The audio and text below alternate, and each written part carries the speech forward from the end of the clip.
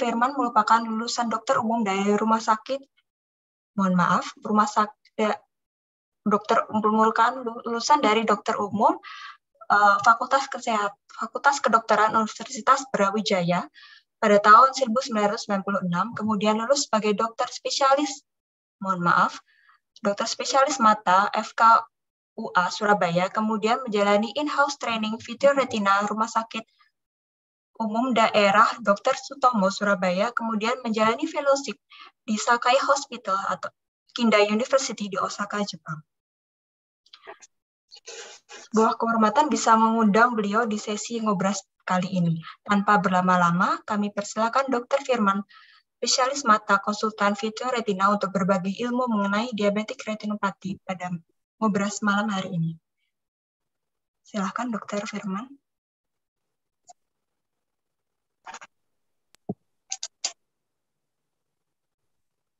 Ya.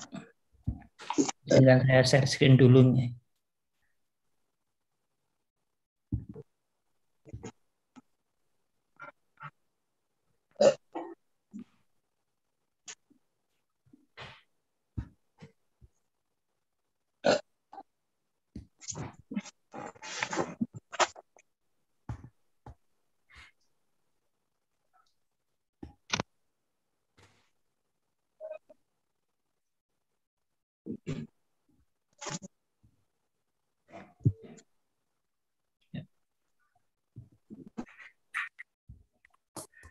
Assalamualaikum warahmatullahi wabarakatuh.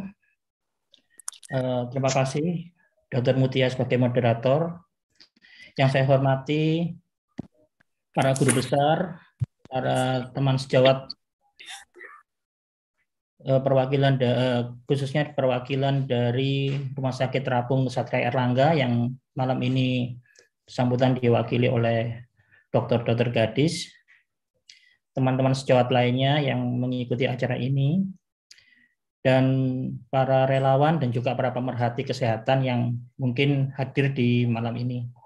Eh, sebelumnya saya sedikit koreksi untuk organisasi jabatan saya adalah sebagai ketua perdami cabang Jawa Timur ya bukan eh, nanti ada mungkin ada sedikit salah tafsir bahwa saya di ketua pusat bukan dari di cabang Jawa Timur Uh, terima kasih atas kehadirannya malam ini kita ngobrol santai. Saya lihat ada beberapa sekali teman sejawat yang saya kenal, bahkan ada teman senior saya, pembimbing saya waktu di Rumah Sakit Umum Daerah Selong, Lombok Timur. Selamat malam Dokter Endro nih, saya lihat kok bergabung. Dan juga para teman semua. Uh, malam ini saya uh, akan sedikit memberikan presentasi tentang prevensi dari kebutaan akibat diabetik retinopati. Alhamdulillah saya diberikan kesempatan di acara ngobras ini untuk membicarakan suatu hal yang mungkin saat ini sayup-sayup terdengar ya. Jadi ini karena apa? Karena mungkin bukan sesuatu hal yang tanda petik seksi ya di bidang mata ya. Nah, Padahal nanti kita bahas, kita mohon maaf malam ini mungkin tidak sepenuhnya klinis, tapi juga saya ambil perspektif dari uh, community ya, memiliki komunitas. Karena memang kalau kita bicara soal kebutaan, maka kita membicarakan suatu kejadian ataupun suatu uh, suatu keadaan kebutaan yang ada di dalam suatu masyarakat. Jadi kita tidak bisa bicara sendiri-sendiri di mana kita lihat di sini bahwa memang diabetes adalah suatu penyebab kebutaan di Indonesia, di Indonesia maupun dunia yang tambah semakin lama semakin meningkat. Dikarenakan apa? Dikarenakan angka kasus diabetes ini eh, diperkirakan pada tahun 2035 ini akan melonjak sampai 55 persen dari kondisi pada tahun yang dilihat pada tahun 2013. Di sini kita lihat bahwa negara kita, Indonesia, masuk dalam 10 besar negara dengan populasi penderita diabetes terbanyak di dunia. Nah, ini kita bisa lihat ada tantangan besar di sini karena diabetes adalah suatu kelainan sistemik di mana komplikasinya akan menyebabkan kelainan multi organ dari ujung rambut sampai dengan ujung kaki, di mana mata merupakan salah satu organ yang terdampak oleh diabetes mellitus. Sekitar 50%, hampir 50% dari pasien diabetes mellitus ini akan menunjukkan gambaran ataupun kerusakan atau perubahan dari retina yang lambat laun dia akan terutama bila tidak dilakukan treatment yang baik ataupun screening yang baik, maka dia akan mengakibatkan suatu kondisi kebutaan di mana kebutaan ini sifatnya adalah uh, irreversible.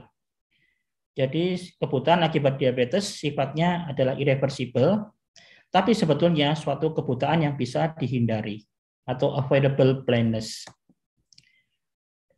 Dari 8,3 persen diabetic patient, maka sekitar 35 persen di antaranya akan jatuh pada kondisi diabetes retinopati dalam berbagai statra, dalam berbagai uh, uh, stage ya, di mana sekitar 7 persennya ini akan mengalami uh, diabetic macular edema dan pada pasien-pasien yang mengalami diabetes makular edem hampir separuh akan mengalami kebutaan atau ke, eh, kehilangan penglihatan yang sifatnya permanen. Nah, apa yang bisa kita lakukan pada pasien-pasien diabetes ini?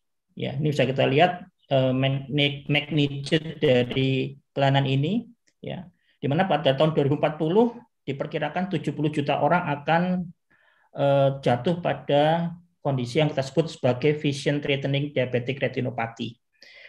Dari 70 juta pasien yang mengalami vision threatening diabetic retinopathy, separuhnya akan e, menderita kebutaan.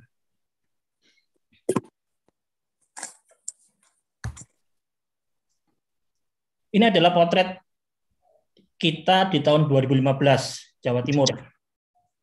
Indonesia merupakan salah satu negara dengan angka kebutuhan yang tinggi di dunia. Di Asia Tenggara mungkin paling tinggi. Jadi angka kita 3,3 persen. Angka di Jawa Timur lebih tinggi lagi, 3, start 3, hampir 4 persen. Memang 81 persennya disebabkan oleh adanya katarak yang belum dilakukan tindakan eh, diabetik retinopati 1,6 persen mungkin ada di peringkat keempat atau kelima. Tapi yang jadi masalah adalah seperti glaukoma juga yang juga cukup besar di Jawa Timur. Diabetik retinopati ini bila dibiarkan atau tidak diawasi dengan baik, maka akan jatuh pada kondisi yang permanen. Sementara kalau katarak yang 81 persen kalau kita operasi akan bisa menunjukkan eh, perbaikan fungsi penglihatan. Jadi memang karena nilainya yang kecil yang 1,6 persen ini, ini kita jadi kerasanya masih eh, tidak terlalu penting sepertinya. Tapi harus diingat bahwa diabetik retinopati itu sendiri timbul sebagian besar pada orang-orang dengan usia produktif. Jadi Penyebab kebutaan terbesar di bawah usia 50 tahun itu adalah diabetik retinopati. Sementara kalau yang di atas 50 tahun sebagian besar adalah disebabkan oleh katarak. Nah, di sini akan ada suatu kondisi di mana pasien-pasien akan jatuh dalam kondisi kebutaan, di mana year of blindness-nya atau tahun-tahun kebutaannya itu sangat panjang. Misalkan pasien eh, dinyatakan buta pada usia 40 tahun, maka sampai dia akibat diabetik retinopati, maka sampai dia nanti meninggal, misalkan usia 70 tahun, maka dia akan pasien ini akan jatuh dalam kondisi buta selama 30 tahun. Beda dengan katarak. Misalkan pasien katarak timbul pada dia buta pada usia 50 tahun karena katarak, kemudian pada usia 55 tahun atau umur 60 tahun dioperasi, maka dia hanya mengalami kebutaan selama 10 tahun dan ini treatable. Beda dengan diabetik retinopati. Nah, dengan adanya jumlah kasus yang semakin meningkat, maka angka kemungkinan pasien-pasien dengan diabetik retinopati yang kehilangan penglihatannya ini juga akan meningkat juga. Eh, beban yang kita hadapi saat ini, ini bisa kita lihat tidak hanya terjadi di negara kita. Di Amerika Serikat ini kurang dari 50% pasien dengan diabetes itu Eh, mendapatkan pemeriksaan diabetik retinopati tahunan yang baik. Jadi ini potret di Amerika Serikat, di mana mungkin uh, struktur apa uh, sistem pelayanan kesehatannya juga relatif lebih baik daripada Indonesia. Ini masih hampir 50 persen itu uh, yang baru mendapatkan pemeriksaan tentang eh, mengenai diabetik retinopati yang baik. Jadi masih sangat eh, kurang ya. Nah, di sini kita bisa lihat bahwa masalah ini sebetulnya bukan hanya masalah Indonesia tapi juga masalah global. Di mana nanti seperti yang sudah saya sampaikan sebelumnya, 30% dari pasien-pasien dengan diabetik retinopati akan jatuh pada vision threatening diabetic retinopathy, di mana vision threatening diabetic retinopathy ini sendiri didefinisikan adalah adanya NPDR atau non-proliferative diabetic retinopathy yang berat, proliferatif diabetic retinopathy, dan ada tidaknya diabetic macular edema. Nanti akan kita bahas di selanjutnya. Di mana yang seperti yang saya telah sampaikan, separuh dari eh, vision threatening diabetic retinopathy akan jatuh pada kebutaan, di mana secara global kebutaannya 1,07 persen. Jadi sebenarnya nggak terlalu jauh dari kebutaan Indonesia yang satu Jawa Timur ya, yang tapi secara secara nasional juga eh, angkanya segitu adalah 1,6 persen.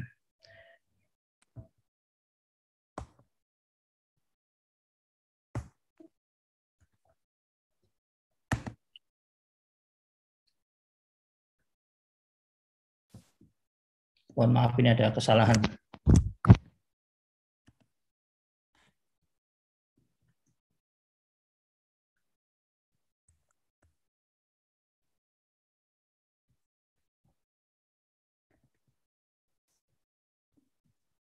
Ya. Bagaimana kita menghitung beban eh, diabetik retinopati di Indonesia? Perkeni pada tahun 2015 menghitung memperkirakan prevalensi dari diabetes mellitus pada pasien dengan usia lebih dari 15 tahun adalah sekitar 5,7 persen. Ya, kita tidak tahu angka sekarang, tapi kita anggap saja sama. Di mana prevalensi dari diabetes retinopati sekitar 35 persen dari diabetic patient dan PTDR ada pada 11 persen dari diabetic patient. Dan eh, seperti yang tadi saya sampaikan juga ini merupakan suatu avoidable but tetapi suatu untreatable blindness. Jadi kebutaan yang bisa dicegah tapi tidak bisa diobati.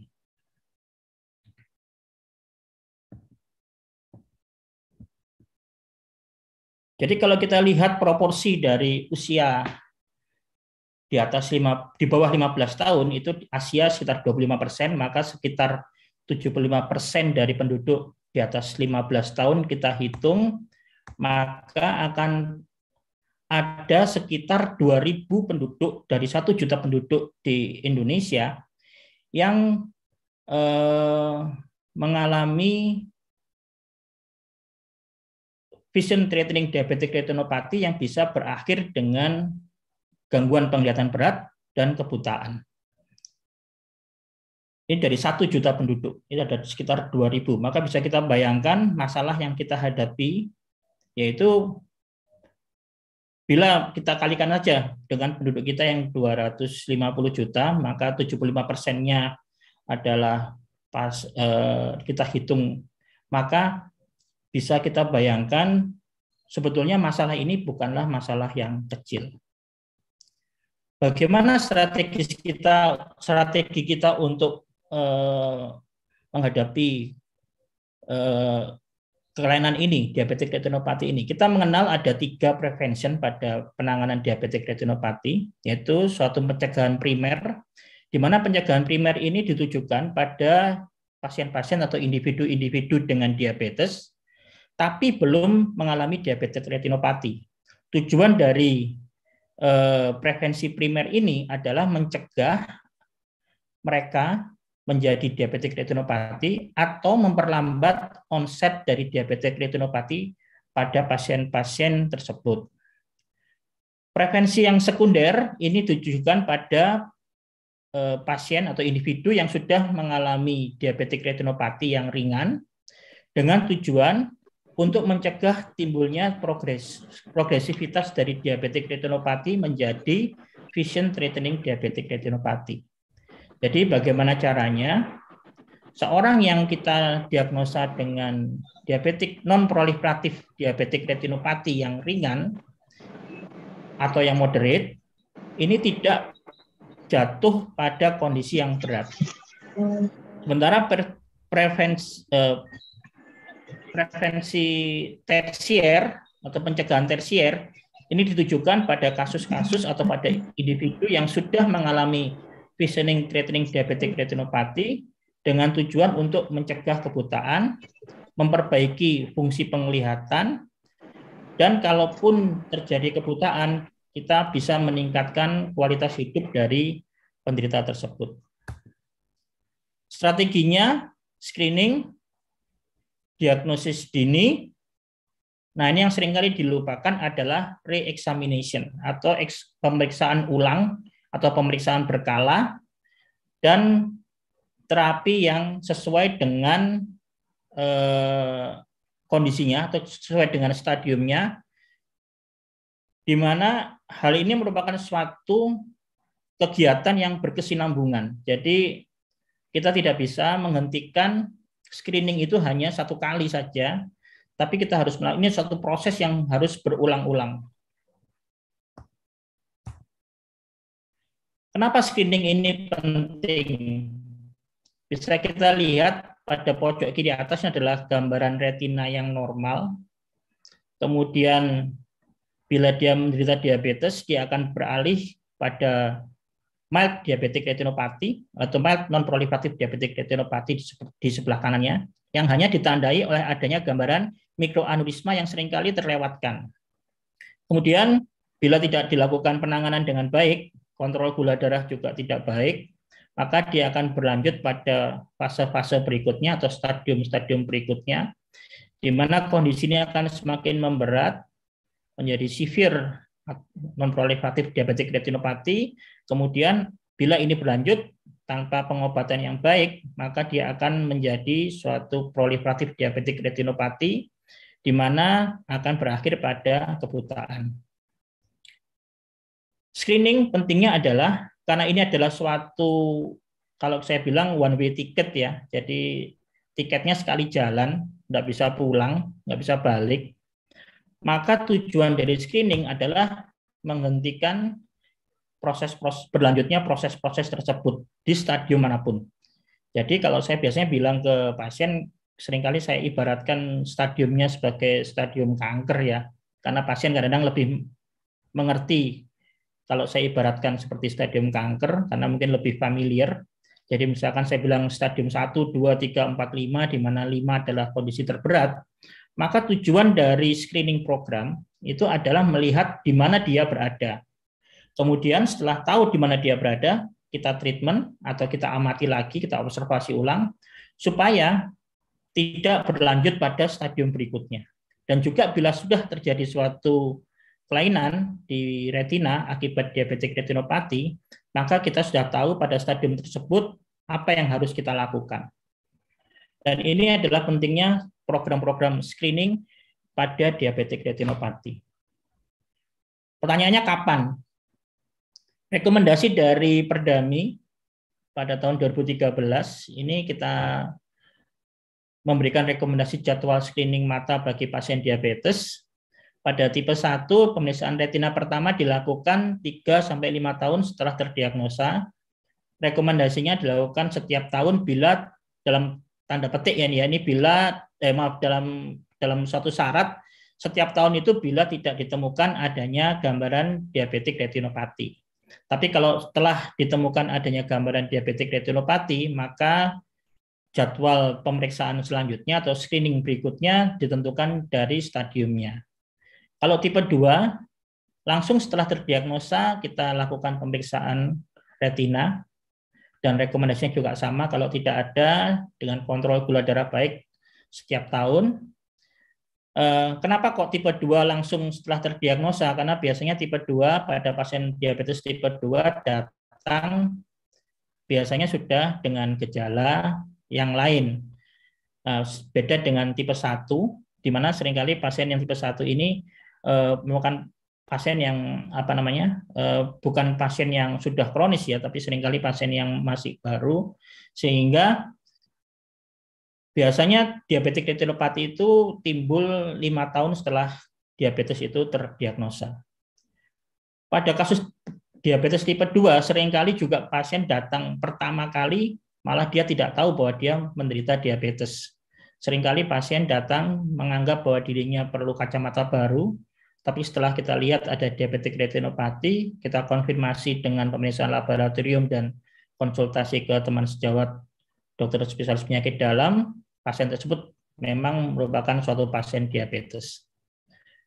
Nah, ini harus diingat juga bahwa kita harus lihat pada pasien-pasien yang hamil karena pada kehamilan eh, progresivitas dari diabetes retinopati itu akan meningkat. Jadi biasanya kita lakukan eh, sebelum dia misalkan pasien ini sudah terdiagnosa diabetes dan akan hamil atau merencanakan kehamilan, kita periksa retinanya sebelum eh, dia hamil, kemudian pada trimester pertama kita periksa, Kemudian kita lihat tiap semester, tiap trimester, terutama bila tidak ada eh, kelainan. Tapi bila ada kelainan mungkin bisa kita lihat lebih sering, bisa tiap bulan kita evaluasi dan bisa kita lakukan beberapa tindakan yang tentu saja tujuannya adalah untuk menghambat atau mengurangi progresivitas dari diabetik retinopatinya tersebut.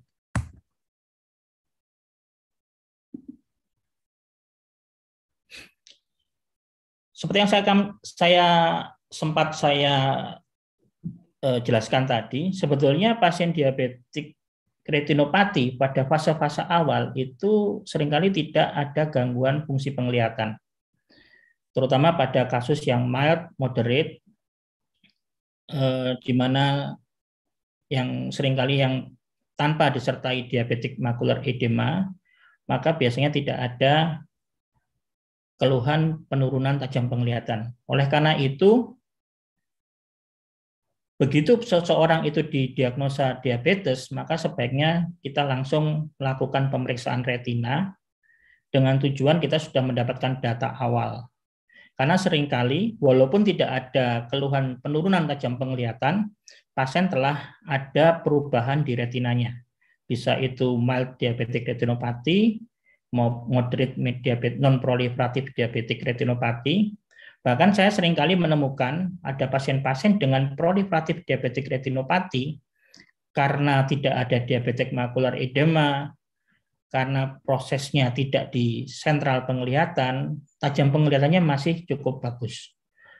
Nah, yang berbahaya adalah kita seakan menyimpan sebuah bom waktu yang sewaktu-waktu bisa meledak Misalkan pada proliferatif diabetik retinopati sering kali sudah timbul adanya uh, new vessel di sana yang memungkinkan untuk pecah sewaktu-waktu sehingga dia akan terjadi suatu perdarahan vitreous dan bisa bisa berkelanjutan menjadi traction dan kemudian lepasnya retina dan sebagainya sehingga sering kali berujung pada kebutaan. Oleh karena itu penting bahwa pada saat pasien tersebut didiagnosa sebagai diabetes mellitus, kita melakukan pemeriksaan mata yang lengkap. Pemeriksaan mata yang lengkap terutama untuk pasien diabetes mellitus adalah kita melihat tajam penglihatannya, baik dengan uncorrected ya, jadi sebelum atau natural visual acuity-nya, kemudian juga dengan koreksi kalau misalkan diperlukan.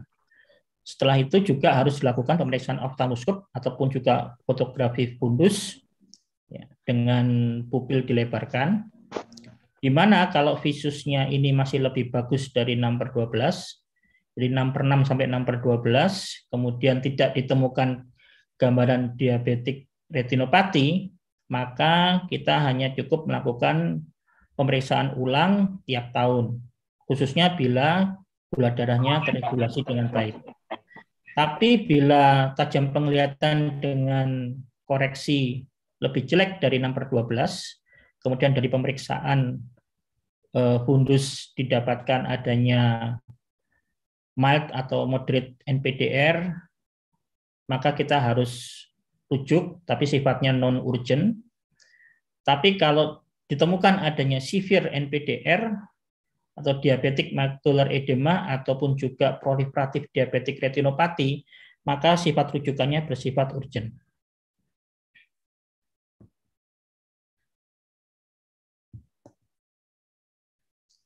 Ini mungkin teknis ya. Jadi eh, secara standar itu kita melakukan tujuh eh, field ya, seven field eh, fundus fotografi sehingga kita harapkan bisa menghasilkan gambaran yang luas dari retinanya. Seperti kita lihat di sini, ini gambarannya sudah tampak adanya new vessel. Ini adalah suatu gambaran proliferatif diabetik retinopati. Nah, kalau kita lihat, tidak ada tanda-tanda jejas laser di sekitarnya. Jadi ini adalah suatu pasien yang mungkin baru pertama kali datang dengan keluhan kabur, dan ternyata dia adalah suatu pasien diabetik retinopati. Biasanya kalau pasien yang sudah jauh jatuh dalam kondisi semacam ini, paling tidak dia telah menderita diabetes antara 7 sampai 10 tahun, mungkin dengan kontrol gula darah yang tidak baik. Klasifikasinya kita ada beberapa, sebetulnya ada beberapa hallmark ya. Jadi kalau eh, kita sebut mild non-proliferatif diabetic retinopati, kita hanya menemukan adanya gambaran mikroaneurisma. Jadi mikroaneurisma ini adalah hallmarknya, tanda pastinya. ya. Kemudian kalau pada kasus yang moderate, ini adanya mikroaneurisma dengan tanda-tanda lain, misalkan ada perdarahan retina, ada gambaran eksudat, cotton wool spot, tapi masih lebih ringan daripada severe non-proliferative diabetic retinopathy. Jadi pertengahan antara mild non-proliferative diabetic retinopathy dan severe non-proliferative diabetic retinopathy, di mana severe non-proliferative diabetic retinopathy ini ditandai adanya suatu hemorrhage ya yang lebih dari 20 pada setiap kuadran, kemudian adanya venous bleeding di dua kuadran, kemudian ada yang kita sebut sebagai IRMA atau intraretinal microvascular abnormalities di satu kuadran.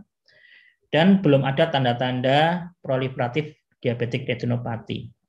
Proliferatif diabetik retinopati sendiri hallmarknya adalah adanya suatu neovaskularisasi. Di mana kalau neovaskularisasi ini pecah bisa timbul adanya vitreous hemorrhage ataupun juga preretinal hemorrhage. Temuan lain yang harus kita evaluasi juga adalah ada tidaknya diabetik makular edema. Jadi bisa kita bedakan diabetik makular edema adalah terletak di sentral ataupun non sentral. Secara klinis ditandai dengan adanya penebalan di daerah retina, di makula atau adanya hard exudate di area makula. Nah ini adalah kapan kita bisa harus melakukan re-examination atau pemeriksaan ulang eh, pada kasus-kasus dengan diabetik retinopati. Bila tidak ada gambaran diabetik retinopati ataupun ringan dengan gula darah yang terkontrol, kita bisa melakukan pemeriksaan ulang dalam waktu satu tahun, ya tiap satu tahun. Jadi secara tahunan annual dilakukan pemeriksaan ulang Kemudian sama juga kalau mild non proliferatif diabetes retinopati itu juga 1 sampai 2 tahun. Kemudian tapi tentu saja ini dalam kondisi tidak ada gambaran diabetes makular edema. Nah, kalau pada kasus yang semakin berat, misalkan pada proliferatif diabetes retinopati, pemeriksaan ulang bisa dilakukan setiap satu bulan. Dan memang pada moderate NPDR sudah mulai-mulai kita lakukan rujukan ke spesialis mata.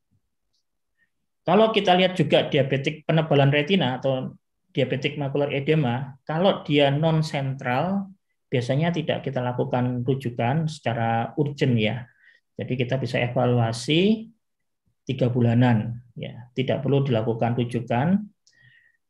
Eh, tapi kalau misalkan kita sudah mendapati bahwa pasien ini ada diabetes makular edema yang mengenai di area pusat atau di tengah di popea, maka kita harus lakukan uh, rujukan dengan segera. Ya, ini setengah hampir sama.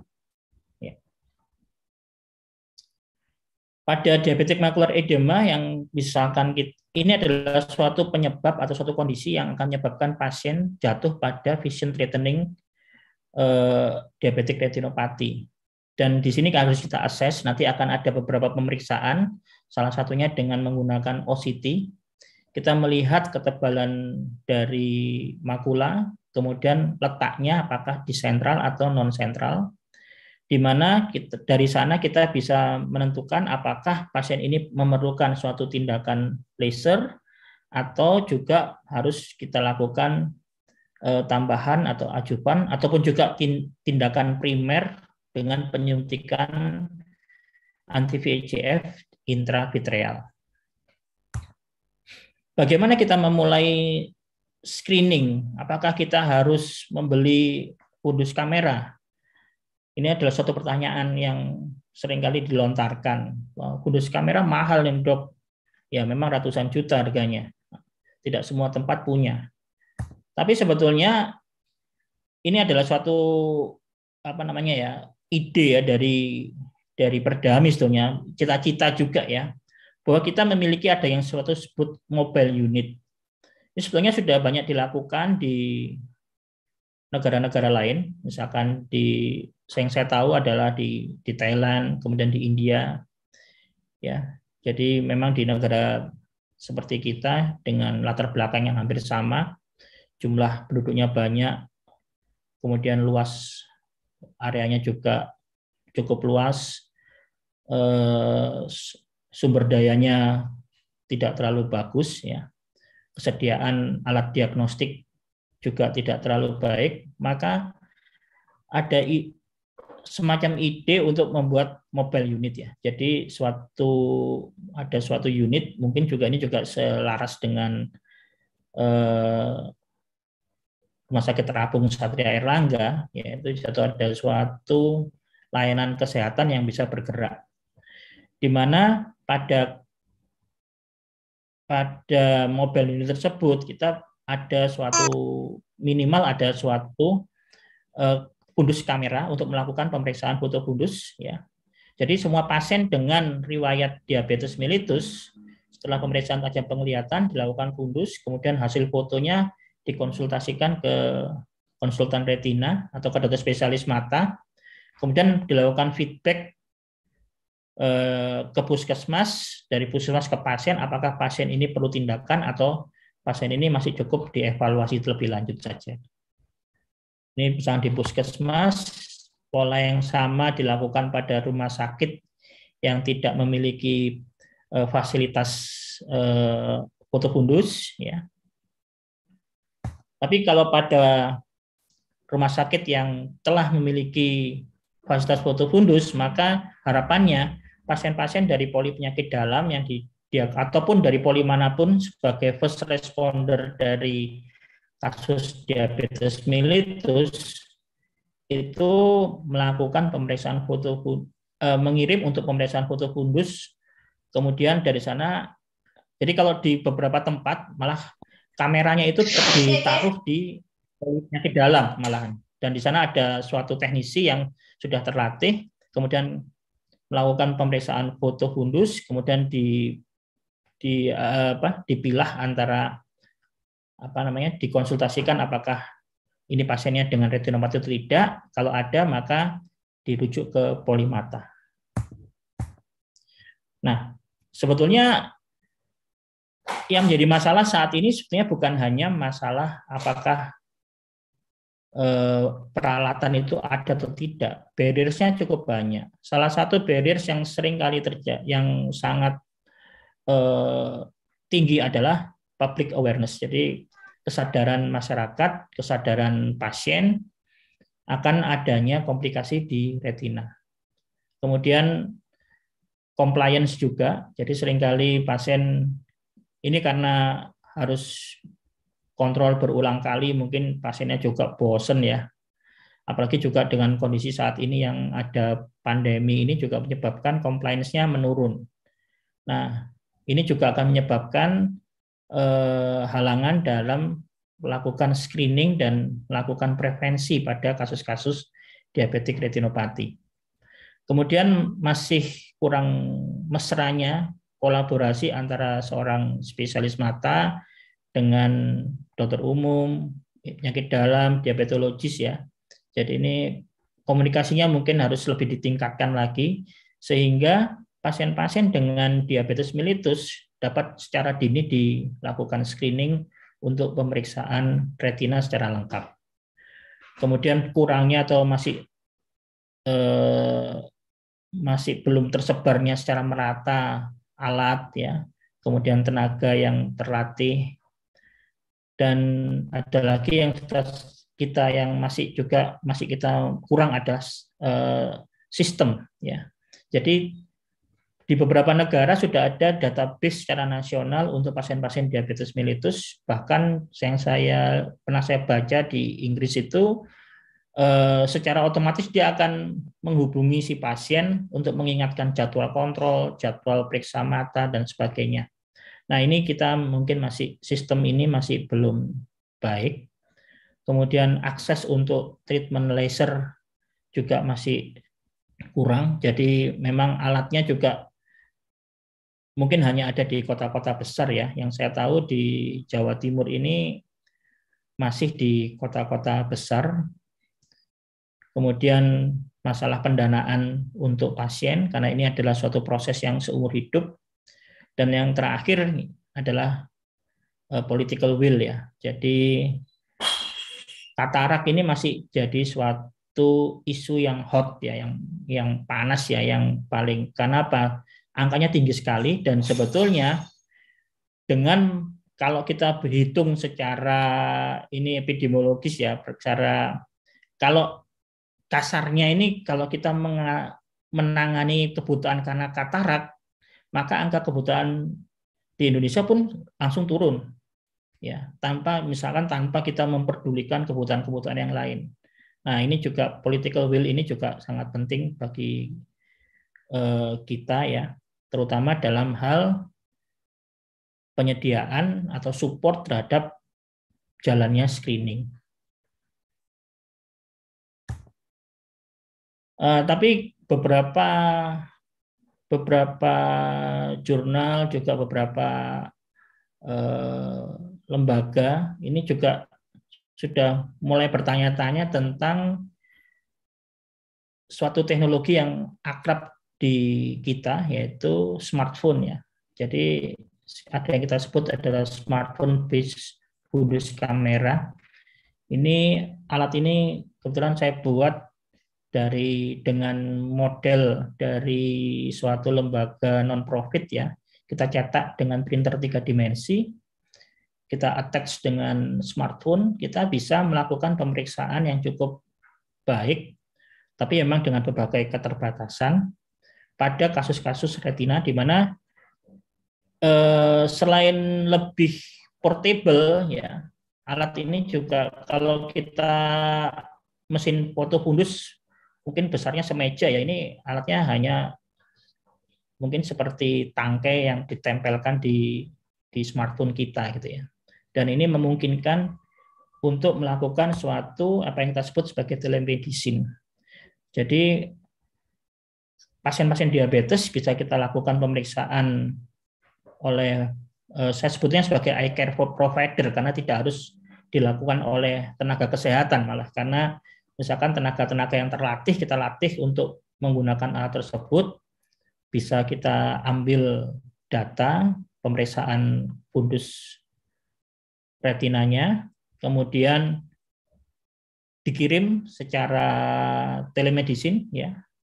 Dikonfirm diagnosisnya oleh seorang oftalmologis kemudian dari oftalmologis tersebut eh, akan ada saran untuk treatment atau jadwal screening dan ini satu proses yang akan berulang terus menerus bila diperlukan maka bisa dirujuk ke spesialis vitreoretina Sedikit saya bicarakan tentang treatment ya, mungkin tidak terlalu banyak, sekilas saja. Nah, yang paling utama adalah kita harus mengoptimalisasikan eh, kondisi metabolik dari pasien. Ini yang adalah yang paling penting. Jadi eh, mengatur atau mengendalikan kadar gula darah, HbA1c, kemudian eh, mengobati hipertensinya, mengatasi dislipidemianya. Ini adalah nomor satu sebetulnya. Ini treatment utamanya. Jadi treatment utamanya bukan laser, bukan injeksi intravitreal anti-VEGF, bukan operasi, tapi treatment utamanya adalah ini. Ini adalah suatu senjata kita untuk primary prevention tadi dan secondary prevention. Jadi ini adalah suatu hal yang sangat penting. Jadi kerjasama yang baik antara dokter spesialis mata dengan dokter penyakit dalam, dokter umum, dokter syaraf, dokter jantung segala macam sangat diperlukan di sini. Karena apa? Kalau ini tidak dilakukan dengan baik, maka penyakitnya akan jalan terus. Karena kita tahu kelainan-kelainan yang sifatnya kronis ini eh, dia akan kayak semacam lingkaran setan ya. Jadi kerusakan yang satu akan memicu kerusakan yang lain dan itu akan berlangsung terus-menerus. Jadi yang paling utama yang selalu saya tekankan pada pasien dengan diabetes mellitus adalah mengendalikan eh, metabolik kondisi metaboliknya. Karena pada kasus-kasus dengan no diabetic retinopati atau non proliferatif diabetic retinopati yang ringan ataupun sedang, maka sebetulnya yang kita lakukan hanya melakukan pemeriksaan secara rutin tiap tahun.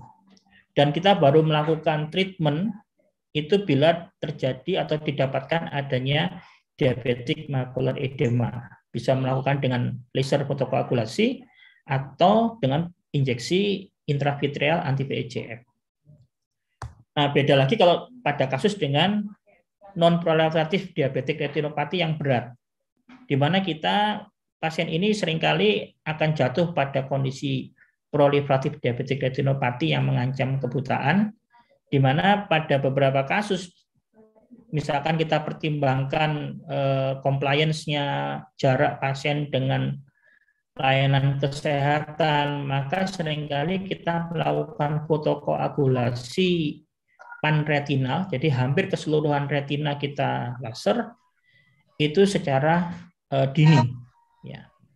Jadi uh, ini harus kita pertimbangkan pada kasus-kasus yang severe NPDR. Sementara pada pasien dengan proliferatif diabetik retinopati, jelas pasien ini harus dilakukan panretinal fotokoagulasi dan beberapa penelitian-penelitian terakhir ini kita uh, ada pilihan lain yaitu injeksi anti VEGF sebagai terapi yang aman dan efektif untuk kasus-kasus proliferatif diabetik retinopati. Cuma masalahnya pemberian injeksi anti VEGF intravitreal pada kasus PDR atau proliferatif diabetik retinopati ini harus dilakukan secara berulang-ulang dan akhirnya mungkin untuk eh, kondisi eh, masyarakat kita ini agak sedikit memberatkan.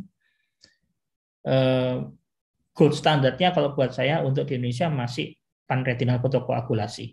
Kecuali memang pada pasien-pasien yang aksesnya ke sarana kesehatan, khususnya di pelayanan e, mata vitreoretina terutama, itu cukup dekat. Tapi kalau kasusnya pasiennya tinggal jauh, maka pasien dengan proliferatif diabetik retinopati ini eh, pilihannya adalah kita lakukan panretinal fotokoagulasi. Vitrektomi ini adalah suatu yang mungkin disebut sebagai eh, laser kemudian bedah vitrektomi ini adalah suatu prevention yang tersier yaitu upaya untuk ada kasus-kasus dengan uh, impending blindness ya supaya tidak terjadi kebutaan maka kita lakukan beberapa tindakan. Salah satunya adalah vitrektomi ini suatu tindakan bedah ya di mana ini juga malah lebih lebih sedikit lagi yang mengerjakan ya. Ada beberapa indikasi yaitu adanya vitreous hemorrhage yang menetap sampai dengan tiga bulan ya yang tidak menghilang. Kemudian adanya eh, traction dari retina akibat jaringan-jaringan fibrovaskular yang tumbuh di vitreous. Kemudian adanya kombinasi. Jadi selain ada traction juga ada robekan di retina. Nah ini semua memang akhirnya harus membutuhkan tindakan bedah dan eh, ini suatu tindakan yang sifatnya subspesialistik. Ya. Tapi di antara semuanya sebaiknya kita melakukan primary prevention dan secondary prevention sebisa mungkin.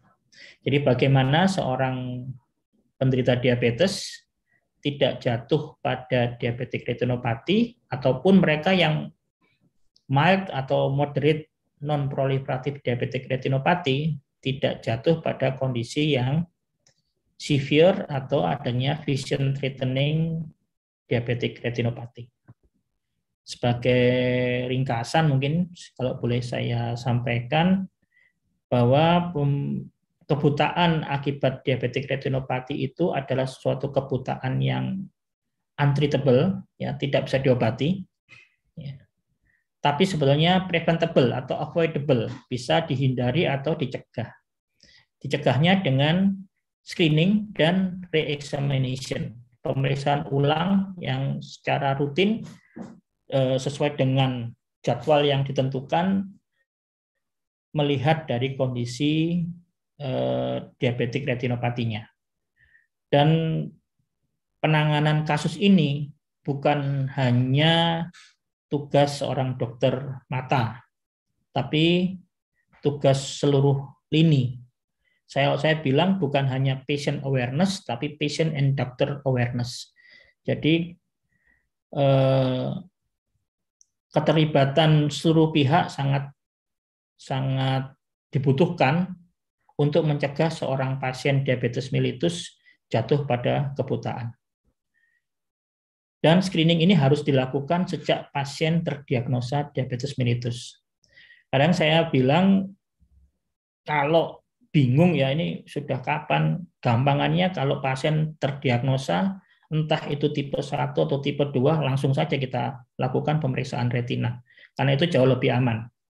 Karena kadang-kadang kalau kita, oh ini mas tipe 1 nanti tiga tahun lagi. Kelupaan kita kadang-kadang. Seringkali kelupaan. Jadi sebaiknya semua pasien yang terdiagnosa diabetes mellitus pada saat dia terdiagnosa diabetes maka dia harus kita lakukan pemeriksaan retina. Kunci dari semua hal tersebut adalah melakukan optimizing metabolic control dan kita lakukan treatment tergantung dari eh, kasus per kasus ya, stadium kasusnya dan yang paling penting adalah mencegah seorang pasien tersebut jatuh pada kondisi diabetik retinopati. Saya rasa demikian yang bisa saya sampaikan.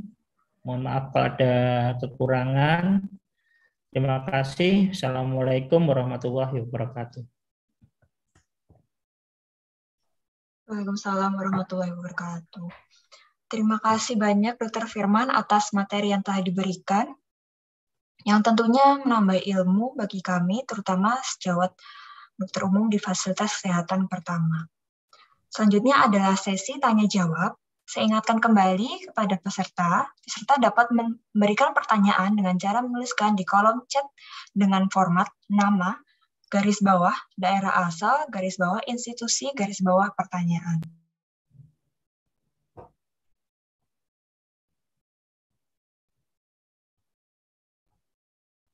Pertanyaan dari peserta, saya izin bertanya.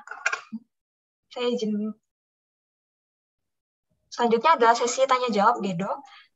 Uh, ini sambil menunggu pertanyaan dari peserta, uh, saya izin bertanya dulu, Gedo. Di era pandemi seperti saat ini, apakah ada tips uh, dan trik bagaimana cara screening uh, retinopati diabetik pada pasien dokter? Oh iya, itu hasil doa yang masih langsung aja untuk ya. melihat penampakannya setelah uh, dilakukan panen ikan koi. Ya, uh, terima kasih. Jadi memang seperti saya bilang tadi, yang saya sampaikan tadi, pandemi ini juga ada efeknya ya. Jadi screening segala macam mungkin tidak berjalan dengan baik. Tapi memang tidak ada yang menggantikan dari pemeriksaan funduskopi atau pemeriksaan foto fundus ya untuk screening tersebut. Eh, karena apa? Karena kalau hanya kita berpatokan dari penurunan tajam penglihatan, itu sebetulnya bukan suatu patokan yang baik. Karena pada kasus-kasus yang berat pun sering kali tajam penglihatannya masih cukup bagus. Apalagi kalau pasiennya juga ada kelainan lain, misalkan katarak ya. Kita lihat memang sering kali pasiennya adalah pasien dengan usia tua ya, manula di mana sering kali juga sudah ada kataraknya juga sehingga sering kali dianggap bahwa oh ini saya turun penglihatannya karena katarak saya. Tapi ternyata bukan. Jadi memang ini adalah suatu suatu apa namanya ya, tantangan tersendiri. Oleh karena itu memang eh, beberapa beberapa apa namanya ahli ataupun jurnal-jurnal juga terutama yang mengenai oftalmologi komunitas ini mulai menawarkan apa yang tadi telah saya sampaikan tadi tentang uh, smartphone fundus kamera. Ya smartphone based fundus kamera ini bisa dijadikan suatu jembatan ya. Jembatan dalam artian satu bisa dilakukan dengan uh, remote ya, apa maksudnya? Dengan tidak harus bertemu dengan dokternya misalkan ya, ada tenaga khusus, kemudian dilewatkan telemedicine segala macam. Tapi memang kalau memiliki keterbatasan alat tersebut, sehingga memang tidak bisa tidak pemeriksaan funduskopi dengan alat yang yang benar ya, dengan alat yang standar ataupun pemeriksaan fundus kamera itu adalah suatu suatu keharusan ya keharusan.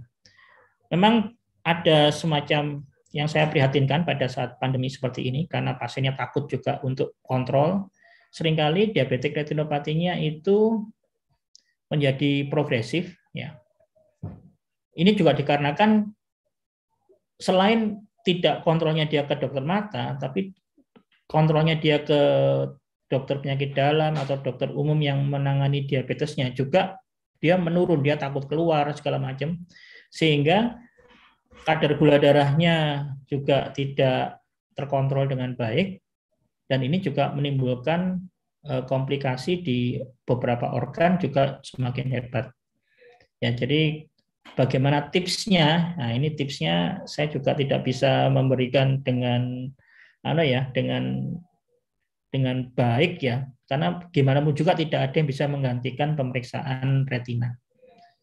Nah ini eh, tapi pada saat ini memang kalau saya lihat di Jawa Timur pun eh, prasaran eh, sarana untuk pemeriksaan retina sudah cukup cukup bagus ya. Saya banyak dapat laporan adanya penyediaan Eh, fundus kamera pada rumah sakit rumah sakit daerah. Nah, saya harap dan juga banyak sekali teman-teman sejawat saya yang kalau mereka ragu dengan fotonya tersebut, saya langsung saya dihubungi lewat uh, eh, WA atau segala macam menanyakan ini enaknya di apa no mas ya ini itu itu lebih itu alhamdulillah lebih bagus daripada tahun-tahun yang lalu di mana memang sarana untuk pemeriksaan juga tidak terlalu sebanyak sekarang. Mungkin itu yang bisa saya sampaikan, Dokter Mutia. Mungkin. Baik, terima kasih. Jawabannya, Dokter Firman. Uh, ini ada sudah ada beberapa pertanyaan yang masuk ke kolom komentar, dokter. Saya bantu bacakan ya, dok. Ya. Pertanyaan dari dokter Ainul. Assalamualaikum warahmatullahi wabarakatuh, dokter. Saya Ainul dari Gresik. Izin bertanya, bagaimana tindakan screening yang bisa dilakukan di vaskes tingkat 1 yang tidak ada ophthalmoskop untuk mengurangi tingkat kebutaan akibat retinopati diabetik? Terima kasih, dokter. Ya, jadi pemeriksaan retina dengan ophthalmoskop ini seperti yang saya singgung tadi sifatnya wajib ya. Jadi kalau saya, kalau misalkan di vaskes tingkat satu tidak ada ophthalmoskopnya, sebetulnya bisa saja kalau kalau ini misalkan suatu pasien yang eh, dalam ya kita ngomong aja JKN ya, ini kita langsung saja. Kalau saya tetap harus dilakukan pemeriksaan walaupun tidak ada keluhan. Walaupun tidak ada keluhan, itu yang harus ditekankan. Walaupun tidak ada keluhan. Jadi sebetulnya kalau rujukan sistem rujukan tidak ada masalah sebetulnya ya. Jadi karena diabetes mellitus saya mohon maaf dokter Mutia saya baca di bawahnya ini ya. Ini saya sekalian aja kayaknya harus sekalian saya jawab. Apakah semua pasien DM perlu dirujuk atau dilakukan pemeriksaan retina? Iya, semua pasien DM perlu dilakukan pemeriksaan retina awal. Tidak selalu harus dirujuk. Kalau misalkan di tempat tersebut dan eh, dokternya eh, meras, eh, bisa melakukan pemeriksaan ya, itu langsung dilakukan saja. Nah, kalau misalkan tidak bisa, maka sistem rujukan. Oleh karena itu, kenapa kalau saya tadi saya bilang salah satunya adalah masalah health insurance ya. Nah, ini terkait dengan hal ini tersebut ya. Apakah ditanggung BPJS? Insya Allah kalau kita bilang aja kalau kelainan diabetik gitu ya, apa diabetik retinopati ya karena diabetes sampai saat ini tidak pernah ada eh, larangan untuk melakukan rujukan Kalaupun nanti kita kan apa? Kalau ini juga sangat sebenarnya kalau untuk BPJS sangat sangat membantu kalau pasien itu dirujuk atau dilakukan pemeriksaan awal, maka kita bisa mencegah timbulnya pasien tersebut jatuh pada kondisi yang lebih berat. Di mana pada pasien-pasien yang jatuh dalam kondisi yang lebih berat, maka pembiayaannya juga pasti lebih tinggi ya dibandingkan dengan hanya pemeriksaan awal. Dan kalaupun misalkan tidak ditemukan adanya tanda-tanda diabetik retinopati, kita bisa melakukan eh, saran ya untuk misalkan melakukan pemeriksaan ulang satu tahun ke depan. Jadi tidak harus setiap bulan pasien itu melakukan screening ya kalau misalkan tidak ada diabetik retinopati. Tapi ini sangat efeknya sangat bagus sebetulnya. Karena dengan demikian ini akan mengurangi kemungkinan bahwa pasien akan jatuh pada kondisi vision threatening tadi, di mana kalaupun nanti dia akan, kalau dia jatuh pada kondisi vision threatening, maka pembiayaan yang dilakukan oleh pihak-pihak penanggung pembiayaan pasien-pasien tersebut itu akan jauh lebih tinggi.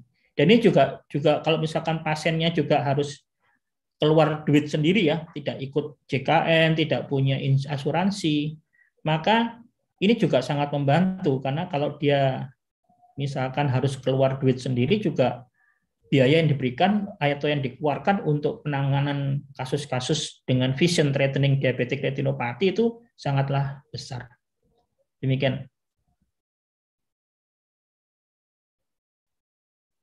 Baik, terima kasih Dokter Firman atas tanggapannya. Untuk pertanyaan selanjutnya ya dok, dari Dokter Weda uh, dari RSU Bangli Bali. Selamat malam dokter, mohon izin bertanya, mengapa pasien yang menderita miopia atau glaukoma memiliki prevalensi mengalami retinopati yang lebih rendah dibandingkan yang tidak, dok? Terima kasih. Ya, terima kasih dokter Weda. Saya terus terang aja belum baca ya soal mengalami prevalensi yang lebih rendah.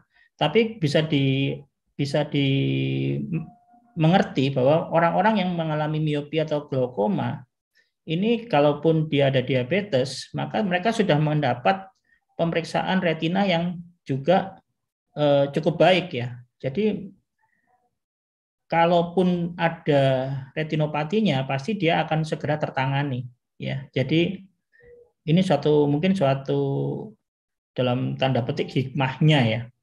Karena pada orang-orang yang tidak pernah terscreening itu memang kalau pada pasien yang memang setiap tahun dia melakukan screening segala macam, kalau kita tahu bahwa karena gini, penyakit diabetes retinopati sendiri itu tidak sifatnya tidak berjalan secara akut ya. Jadi itu dia kronis. Yang seperti saya katakan tadi, dari mulai dia menderita diabetes sampai dengan dia timbul stadium atau gejala awal, perubahan awal di retina akibat diabetesnya itu membutuhkan waktu antara 3 sampai 5 tahun. Nah, kalau dia memang sudah menderita kelainan-kelainan atau secara rutin dia melakukan pemeriksaan eh, mata, maka pada saat awal maka dia sudah terdeteksi dengan baik dan kalau terdeteksi dengan baik maka kita bisa bisa melakukan primary prevention yang baik juga sehingga eh, orang-orang pasien-pasien tersebut untuk jatuh ke dalam kondisi yang lebih berat itu juga akan semakin menurun. Mungkin itu yang bisa saya jawab. Mungkin kalau nanti saya ada info lagi nanti bisa nanti menghubungi saya Dokter Weda ya. Baik, terima kasih dokter. Berarti memang uh, screening awal itu memang sangat berguna ya, dok, untuk mengurangi uh, prevalensi terjadinya retinopati diabetik. Ya. Yeah. Uh, baik dokter. Uh, saya juga tadi uh, tertarik dengan uh, materi yang dokter Firman sampaikan tadi mengenai kamera fundus berbasis smartphone. Uh, yang mau saya tanyakan dok, apakah di saat ini di Jawa Timur, terutama di Surabaya, apakah sudah me, apa ya, melakukan men-screening dengan uh, alat tersebut ya dok? Ya, terima kasih. Ya ini mungkin kesalahan saya juga ya. Jadi eh, sampai saat ini mungkin kalau secara rutin mungkin belum ya tapi memang ada beberapa yang sudah melakukan ya. Tapi memang eh, sebetulnya alat apa prototipe ini ada sehingga di data data teknisnya itu ada dibagikan oleh sebuah yayasan eh, non profit ya Odox ya kalau misalkan nanti sing uh, searching itu Odox ya eh, dan itu nanti akhirnya bisa dicetak dengan 3D printer ya, printer tiga dimensi. Ya, kemudian dari situ bisa di attach di smartphone ya nanti. Tapi memang butuh juga tambahan lensa 20 dioptri yang dipasang di ujung dari uh, handle-nya tadi. Nah, tapi memang sebetulnya uh, alat-alat pemeriksaan fundus portable ini juga sudah ada yang dipasarkan secara komersil ya ya tapi memang harganya masih cukup mahal ya. Tapi kalau kita lakukan yang dengan printer 3D ini mungkin untuk membuat alatnya aja mungkin hanya cukup butuh 300 ribuan ya.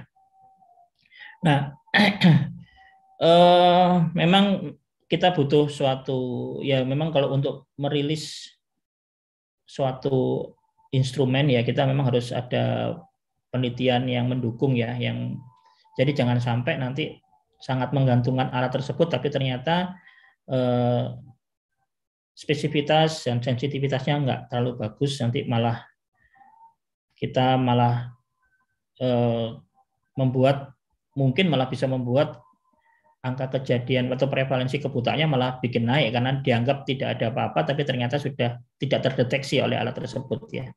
Jadi memang kita harus butuh pemeriksaan lebih lanjut. Cuma memang pada kasus-kasus di mana belum ada katarak atau kataraknya belum tebal, tidak ada kelainan di media optiknya, alat ini cukup sangat membantu ya. Alat sangat membantu eh, pada pasien yang tidak sadar atau pada kondisi di remote area yang kita tidak mungkin membawa eh, foto fundus dengan yang besar itu ini alat ini cukup membantu untuk uh, screening ya. Apalagi kalau kita melakukan dengan ophthalmoscope direct ya yang kita yang sering kali handheld itu ya. Itu kan harus dekat juga ini dalam kondisi pandemi seperti ini juga lebih mengkhawatirkan untuk untuk kalau misalkan ada penularan ya. Sedangkan kalau dengan alat ini kita jaraknya masih cukup lumayan jadi sepanjang lengan kita jadi bisa lebih eh, memberikan jarak antara pasien dan dokternya ya itu aja mungkin tambahan saya dokter Netia. Baik, terima kasih dokter. Semoga uh, prototipe uh, tersebut uh, bisa langsung melaju uh, untuk bisa dipasarkan di masyarakat nih dok, untuk membantu screening uh, retinopati diabetik, terutama pada daerah uh, remote area. Untuk pertanyaan selanjutnya dari dokter Adi, dokter. Uh, Assalamualaikum warahmatullahi wabarakatuh. Izin bertanya, dok, apakah diabetik retinopati dapat terjadi pada anak kecil, dokter, dan bagaimana prognosisnya, terutama pada kasus DM tipe 1? Terima kasih, dokter. Ya, terima kasih. Jadi diabetik retinopati itu sebetulnya bisa terjadi pada semua usia ya. Jadi faktornya yang mempengaruhi adalah lamanya dia mengalami atau menderita diabetes dan juga baik tidaknya kontrol metaboliknya. Jadi kalau misalkan pada anak kecil kemudian eh, pada tipe 1 ya, DM tipe 1 kemudian tidak terkontrol dengan baik, itu bisa juga terjadi diabetes retinopati. Pasien ter, termuda yang pernah saya tangani ini sekitar usia 15 tahun, 16 tahun ya. Ya, dengan tapi memang diabetes retinopatinya sudah eh, diabetesnya sudah timbul sejak dia usia belasan ya. Jadi 11 12 waktu dia SD atau SMP itu dan dia waktu itu masuk SMA ada diabetes retinopati. Jadi bisa ya. Penanganannya sama sebetulnya dengan penanganan diabetes retinopati pada orang dewasa. Karena eh, prinsip penanganan eh, diabetes retinopati pada kasus-kasus yang berat dan eh, proliferatif atau severe non proliferatif diabetes retinopati misalkan dilakukan suatu panretina fotokoagulasi itu kan tujuannya adalah karena pembuluh darah di retina itu adalah suatu eh, N arteri ya. Jadi di sana ada suatu kalau terjadi gangguan yang terjadi kan gangguannya adalah di vaskulernya, ada suatu angiopati. Ya. Jadi bisa ada dua hal yang terjadi, bisa terjadi sumbatan, oklusi atau bisa juga terjadi adanya leakage karena rusaknya eh, jaringan penyangga antar endotel yaitu perisitnya hilang sehingga ada leakage dan ada oklusi. Nah, oklusi sendiri akan menyebabkan iskemik di jaringan. Itu sama sebetulnya, prinsipnya sama semua. Dan iskemik di jaringan retina itu untuk akan menyebabkan sel-sel tersebut mengeluarkan eh, VEGF dan itu yang juga memicu rangkaian-rangkaian kondisi eh, berikutnya timbulnya pembuluh darah baru, leakage-nya semakin hebat. Nah, prinsip dari fotokoagulasi di semua usia adalah kita membuat retina yang iskemik tadi kita matikan sehingga dia tidak akan lagi mengeluarkan VEGF-nya. Ataupun VEGF yang beredar kita lakukan pemberian anti VEGF plus dilakukan laser fotokoagulasi. Ini sama dengan kita menangkap eh, produk dan juga menutup produsernya. Nah, soalnya sama. Jadi eh, cuma memang kita harus apa namanya eh, yang yang sering kali jarang sekali sih sebetulnya kalau yang pasien-pasien anak-anak ya karena biasanya pasien tipe 1 itu eh, datang dengan pada saat awal-awal itu sudah biasanya sudah dapat berapa dapat eh, penanganan penanganan yang cukup bagus ya jadi biasanya sudah dilakukan screening dengan di mana-mana ya semua multi organ ya. Yang sebetulnya malah yang sedikit mengkhawatirkan itu adalah diabetes tipe 2. Karena apa? Karena sering kali gejala awal itu tidak ada. Jadi baik gejala awal diabetesnya maupun gejala awal dari komplikasi organ lainnya. Nah ini yang sering kali malah lebih eh, banyak menimbulkan kebutaan dikarenakan pasien datang sudah dalam kondisi satu tidak tahu bahwa dia diabetes dan kedua diabetes retinopatinya dalam kondisi yang berat. Ini yang malah sebetulnya paling sering terjadi di yang sering kita hadapi. Demikian Dokter Adi. Terima kasih.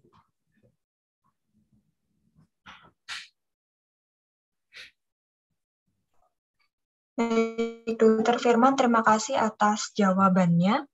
Mungkin ini uh, satu pertanyaan lagi nih, Gedok, sebelum saya tutup. Uh, dari Dokter Farida uh, Semarang, apakah ada komplikasi dari terapi laser atau anti VEGF, dok? Apakah secara umum prognosis akan membaik dan apakah bisa terjadi revaskularisasi kembali? Terima kasih atas pertanyaannya.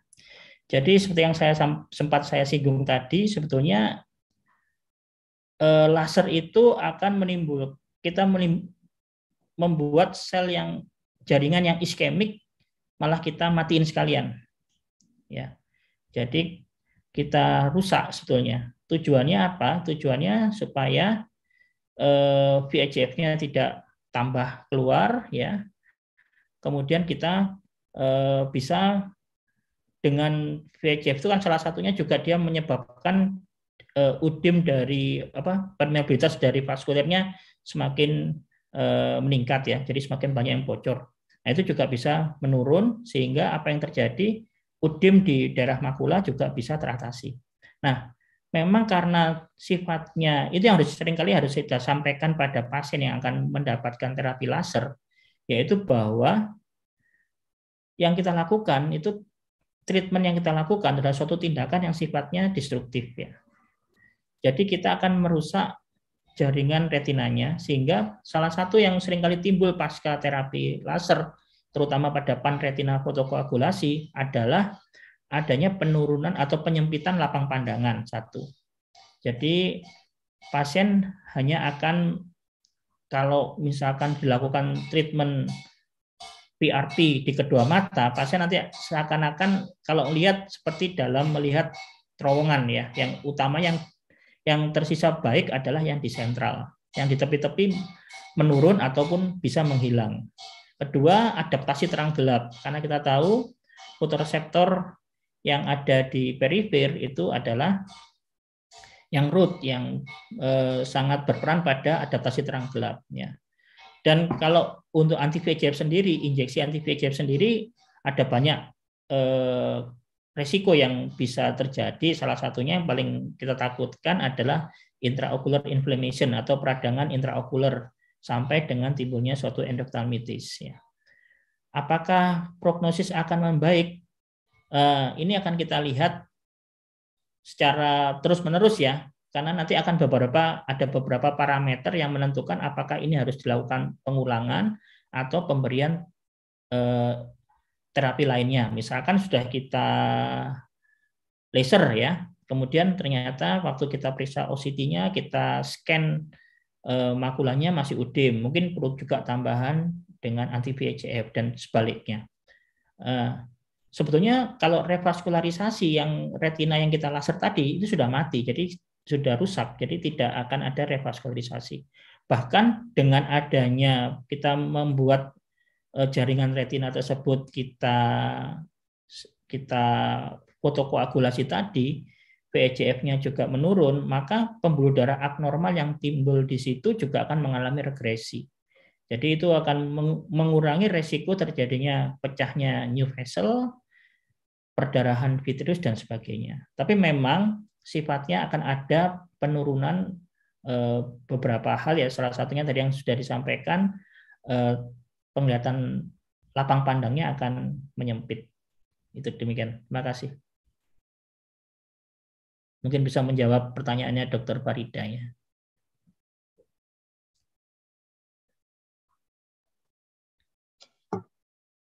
Uh, baik dokter, terima kasih.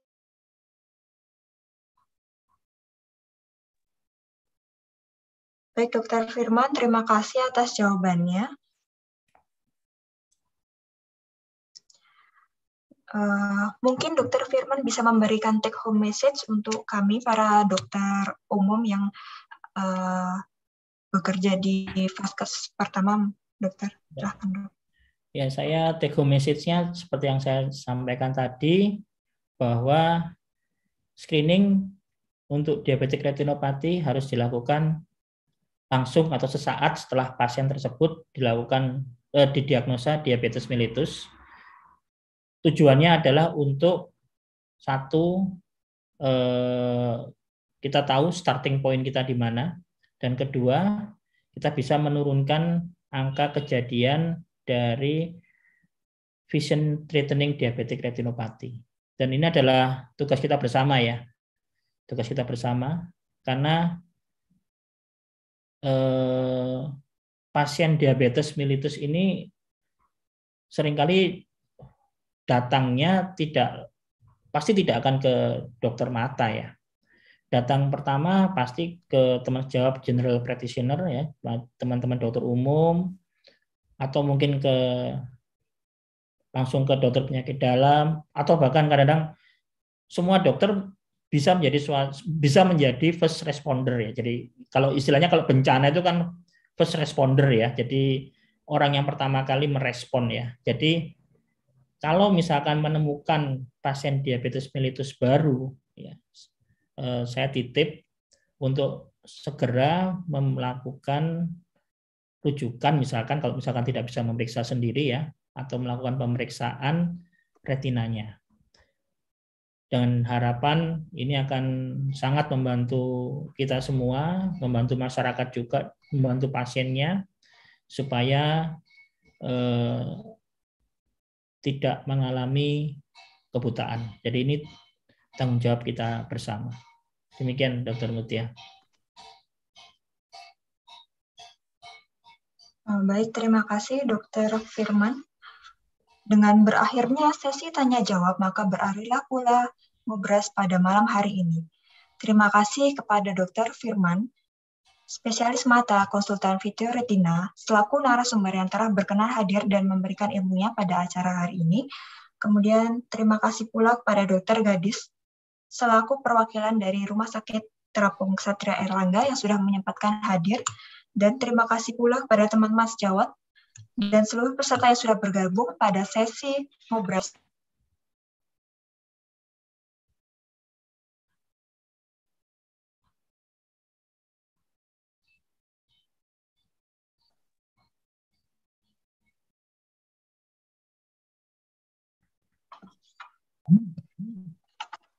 Teman-teman yang ingin menonton siaran ulang sesi ngobras ini ataupun yang telah berlalu, silahkan mengunjungi YouTube RS Terapung Satria Erlangga dan silahkan mengikuti update kegiatan RSTKA dengan follow IG at RST Kesatria Erlangga.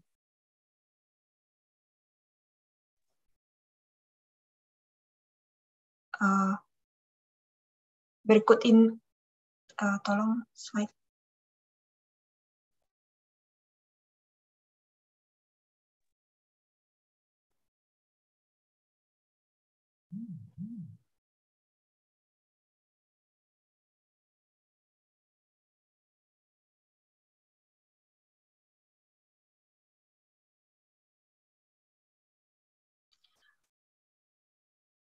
Uh, baik sebelumnya dokter mohon izin untuk berfoto bersama mungkin dok uh, dengan dokter Firman dan dokter Gadis.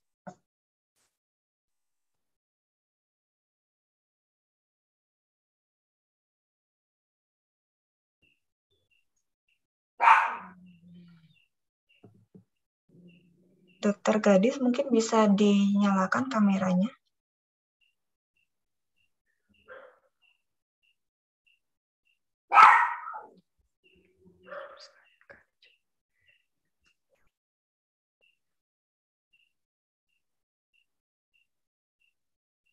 Baik dok, saya pimpin ya untuk berfoto.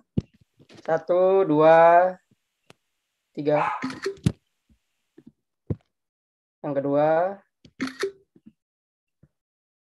ketiga. Oke, sekali lagi. Terima kasih dok.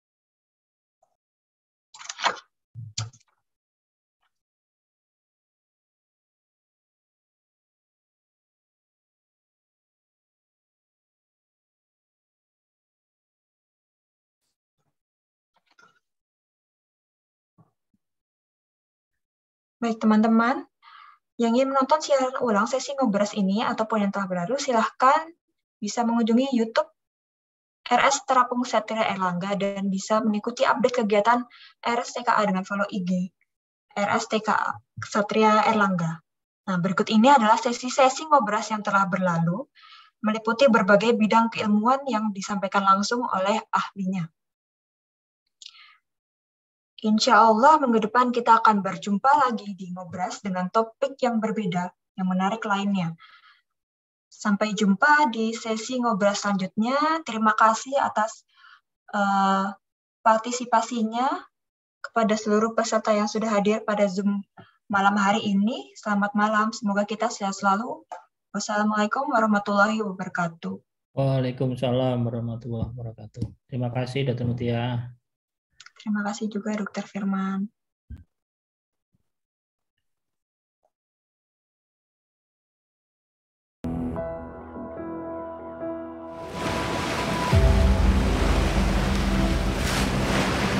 ya.